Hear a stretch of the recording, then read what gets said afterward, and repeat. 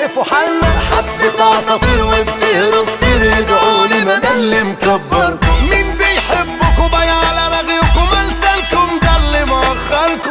أنا مش فاضلكم لما أفضجلكم جيلكم هتشوفوا مني حاجات غريبة بشكل تاني وانتوا نصيبكم لما أبقى جيلكم بس ابقوا سدوا اللي يطلع من لساني.